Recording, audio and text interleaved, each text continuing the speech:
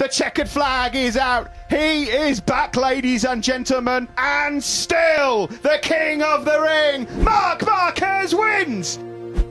The German Grand Prix is underway and it's a rocket start there on the outside. Marquez drops Quartararo shoulder on the inside and Marquez into second place. The dream start. Oh, no one will want to let Marc Marquez out of their sight. Tenacious Espargaro with some excellent drive though.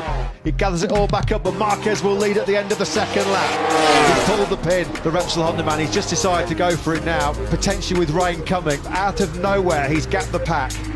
What a world champion. Just one more corner left. The checkered flag is out. He is back, ladies and gentlemen, and still the king of the ring. What a moment in history. What a sporting story. It is 11. It is heaven for Marc Marquez. Can you believe it?